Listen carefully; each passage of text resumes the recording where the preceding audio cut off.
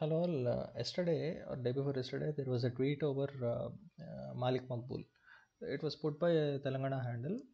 It was put by a Telangana-based handle. Just based on that, I was looking into the history. I know the I know the basic details regarding him, but I'm uh, I was just looking into what exactly happened to him or uh, what did he do before he became a Muslim.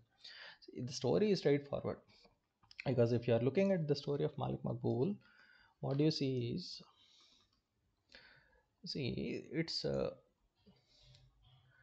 uh, this is a story you will see everywhere. And that is uh, his name is gannappa or uh, in some cases we call him Na- nagaya ganna. In some cases we call him uh, Gannama Nayaka. And uh, there is a folk mythology in uh, telugu area saying that uh, he's also the, he's known by the name yugandhara yugandhara was a famous minister of kakatiya prataparudra uh, basically this uh, the legend of uh, Gannama Nayaka goes something like uh, he was the fort com- he was the commander of Warangal fort. And uh, for some reason he flipped sides. Either he was whether he was captured or whether he surrendered the fort or whether he was a traitor we don't know. Uh, but uh, the, what we what we know is ultimately he converted to islam. Uh, he became a big name in uh, delhi sultanate he was he served in uh, lahore area and then uh, he was sent as a warangal back to warangal yes, he was sent as a commander back to warangal again now, when he was sent as a commander back to Warangal again, uh, uh, that was the time when uh, forces were uh, regrouping under Muslim Naiks, and uh, in in a matter of what seven or eight years, he was ejected out of Warangal, and that is Delhi Sultanate was out of Andhra Pradesh for the next what? When was that? Uh, till Shah Jahan came in what? Uh, 1660s or 1650, 1640s or 1650s. Till uh, till the time, uh, Delhi Sultanate was not at all in the picture in South Indian politics. So now, what do we know regarding him? Uh, one thing which I know for sure is that Markandeya Purana, it is considered as one of the five Panchamahakavyas in Telugu. This Markandeya Purana is dedicated to this Gannama Nayaka. Uh, if you look into the introduction of that, this is in Telugu. Uh, if you look into the introduction of that, uh, what you will notice here is, uh, see, this is the first thing. Um, here, he says that uh, Gannama Nayaka won the fort of Warangal for his achievements. He was not he was not appointed because see he was not appointed because he came from an exalted, exalted family, but because he proved himself in war. Where did he prove himself in war? We don't know. How capable was he? We don't know. But the fact that a person was capable enough to earn the governorship of Warangal is something not to be taken lightly.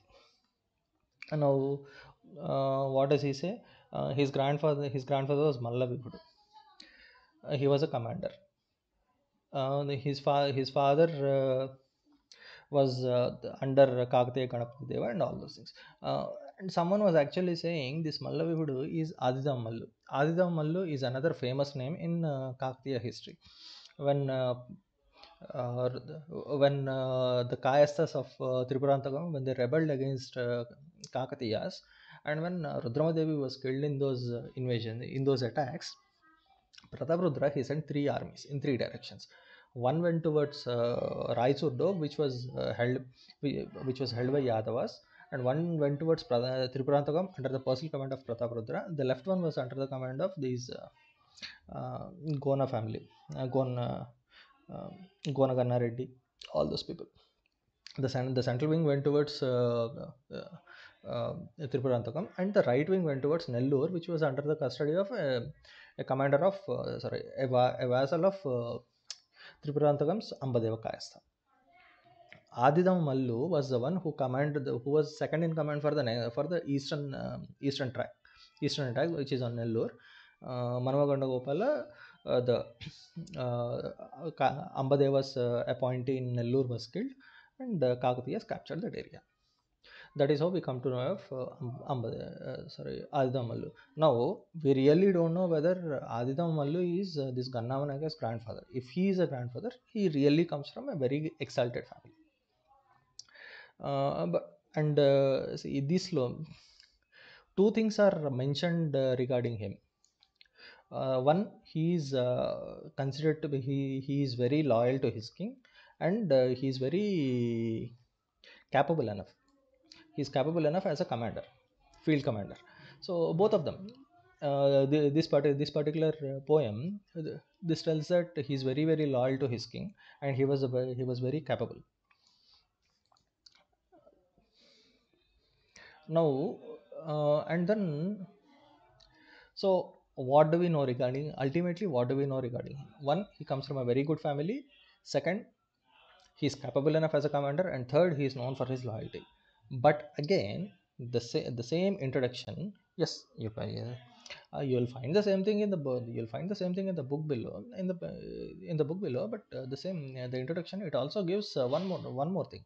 This is the most concerning thing which i noticed that he is a womanizer. Now if you try to add two and two tell me whether it is possible that because of his womanizing habits kakatiyas lost warangal is it possible i don't know whether it is true or not but uh, who knows and uh, okay uh, one there are two there are multiple things here who identi- who equated uh, Nagaya Ganna to Malik Maqbul? That is the first question. Who equated Yugandhara to Nagaya Ganna? That is the second question. Do we really have an answer for that, or is it just something which evolved over uh, generations? And this uh, Gannama Nayaka is not a is not that an uncommon name here. Example, you have an inscription from 1268. Uh, again, he is a co- commander, Sahini. Sahini is a commander. Uh, the Sahini Gannama Nayudu, commander in chief of Kakatiya forces of Rudradeva Maharaja. This is in 1268. And uh, there is uh, another, uh, okay, this is from one book. And there is another Gannama Nayaka of the Chagi line, Chagi line of Vinukonda, again from the same area.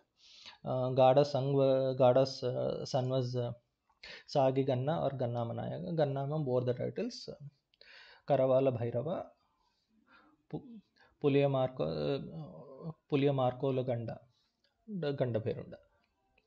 Uh, So this is not that common. uh, So what is the chance that this Gannama Nayaka of Warangal Fort and that Malik Maqbul was uh, confused together? Uh, there can be some sort of uh, we really don't know, but there is a chance that uh, there is there is no confusion per se, but there is some level of circumstantial evidence here. Example, the same uh, introduction it says that in spite of the fact that there are thousands of inscriptions of Kakatiya Kakatiya rulers and their commanders and governors are spread all over Telangana, not even a single inscription of Gannama Nayaka is found. What is the chance that a person who who is the commander of Warangal fort for almost 15 years and and uh, who is considered to be a great pattern of arts, let take the case of Markandeya Purana itself, dedicated to him, right? And uh, who is this Marana?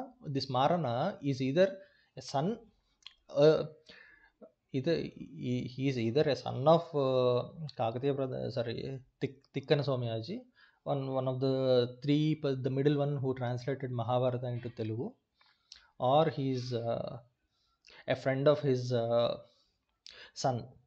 Ultimately, he's someone very close to Tikkana Somayaji, and uh, going by the fact that uh, he specifically called out those names. Uh, one minute, let me see. I saw the poem somewhere. Uh, see, going by the fact that uh, he speci- he specifically invoked all the major poets. Uh, he started with uh, oh, okay, this, is- this is expected.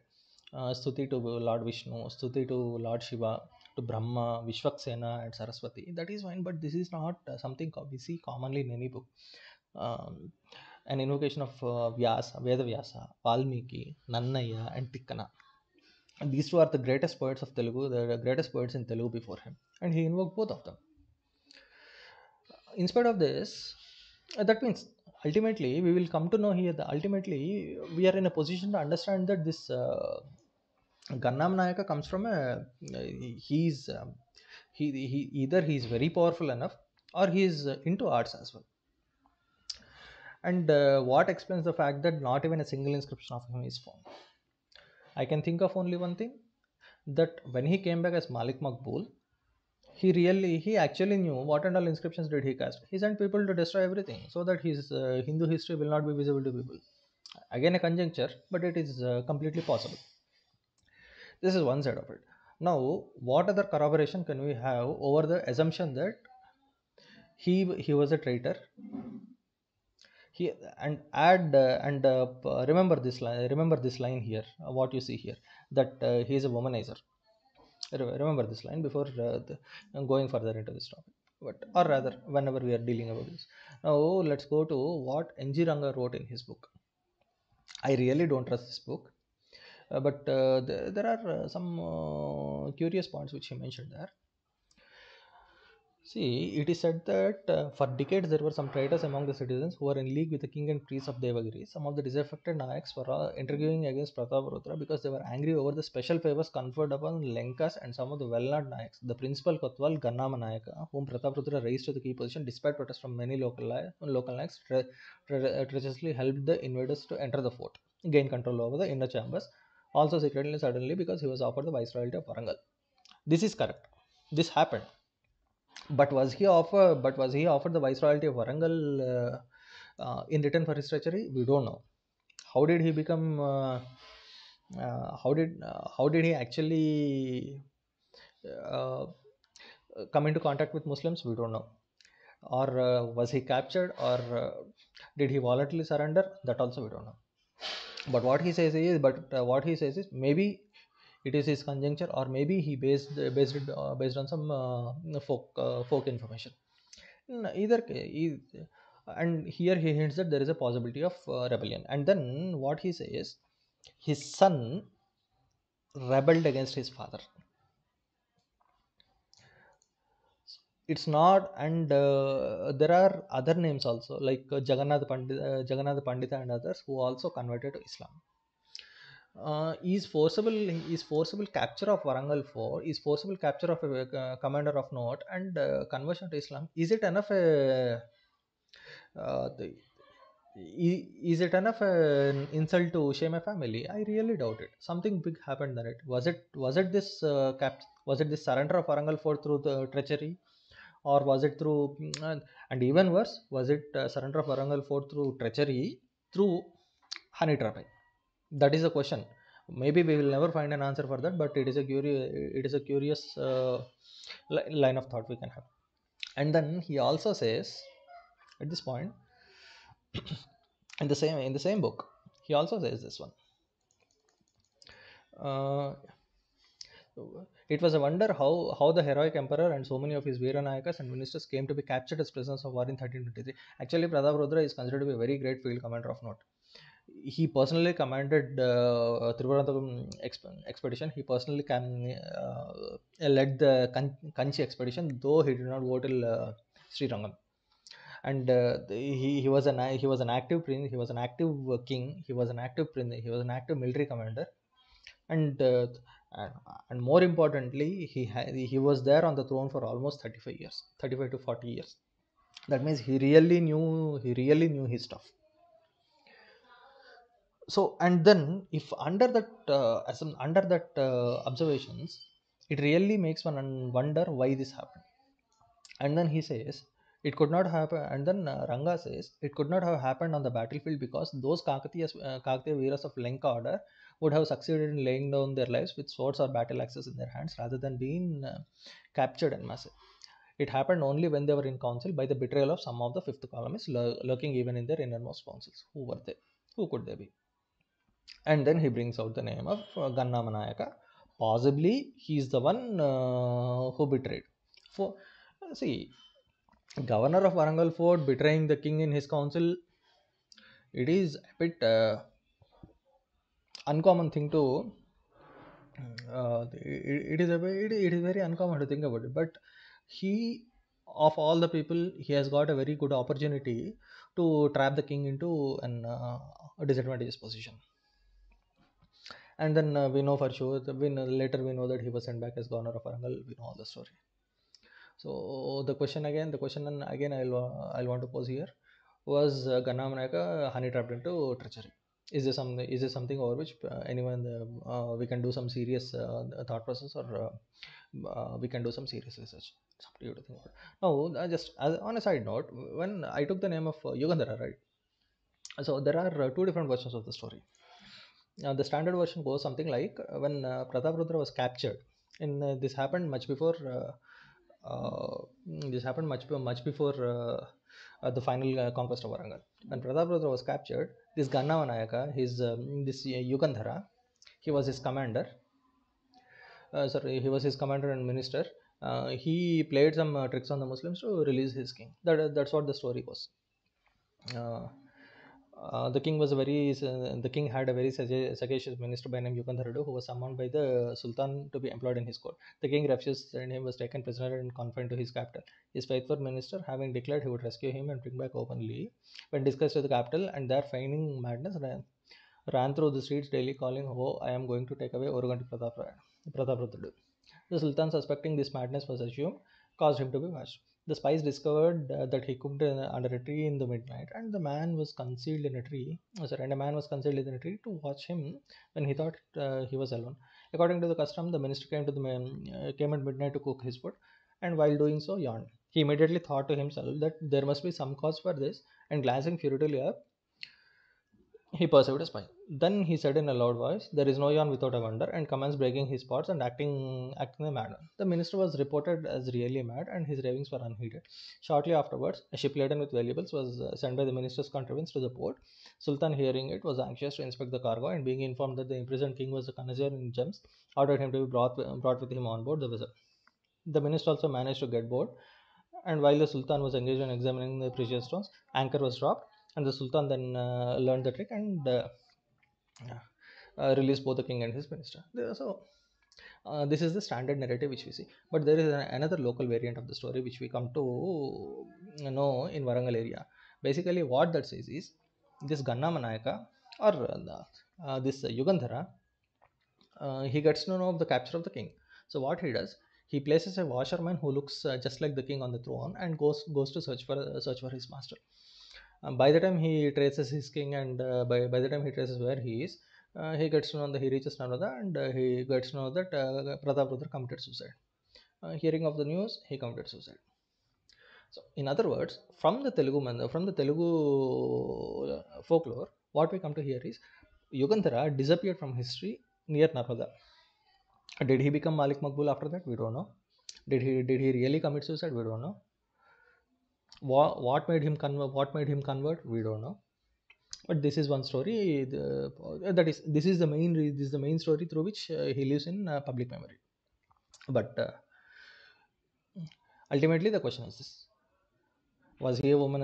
say see, Marana writes he's a womanizer. I don't see any reason in not believing that because uh, uh, this book comes, uh, uh, this book is dedicated to him, and it ex- um, it extol it extols his greatness.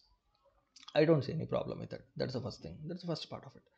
Uh, second part of it is uh, was was he the was the treachery because of uh, his womanizing activities?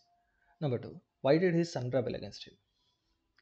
These three, and the and the fourth question which uh, Ranga raises is, um, which is also which also needs to which also needs some serious looking into is uh, how come the Kakatiya High Command was captured? It's not uh, those those are all not uh, small names to think about there are many big names like uh, Muppidi Nayak of uh, Muppidi Nayaka, who led the, the invasion, who led the sorry uh, Srirangam invasion. Uh, Som, Somayadil um, Rudradeva. He was the supreme commander of forces. Did he die before the war, or was did he disappear during the battle? We don't know. Uh, and then uh, we have uh, Prataprudra's brother, brother. He is also mentioned in some inscriptions, and he suddenly disappeared from the inscription somewhere in uh, 1290s. Um, was that what happened to him? We don't know. And uh, all these, uh, the, all these fort governors, all these uh, governors, it's like Adidam Mallu. Example, whether, he died or not, whether he died before the invasion, we don't know. Uh, Adidam Mallu, who uh, this uh, Gona family, Go- Gona Ganna Reddy or uh, his son, uh, Gona Buddha, sorry, Gona Reddy. All, all these people, there are many names of note which we come to know. We don't know what happened to them. So, how exactly were they captured? And how exactly were they captured in Masa? Or uh, hearing the news of the capture of Prataprudra, again that is a question. How did they surrender? Did they surrender to fight uh, to uh, postpone the battle to different day? That also we. These are some open questions with respect to the fall of Kakatiyas, especially with respect to this Malik Maqbul character. How much of it is true? How much of it is fiction? How much of it is uh, fo- folklore uh, linking up with uh, other events in the area, we, we may never know. How much and how, how much of this is fiction, which was introduced at a later date. Like say, for example, there is this uh, poem by name, uh, there is there is this play by name Pratap Rudriyam. This talks about this Yugandhara story. This came years after, this came centuries after uh, the fall of Warangal. What is the basis for that story? Was, was it was it an invention by the poet or uh, uh, has it got some historic uh, historic truth in that? We also don't know that. Ultimately, these are some of the open questions which we have. So I want to know your uh, views on this. Whether uh, Malik Maqbul was a traitor, or whether Gannama Nayaka was a traitor, and uh, if he is a traitor, was womanization a part of uh, uh, the, tre- the treachery game which was play- played that day? Uh, thank you for listening. Have a nice day then.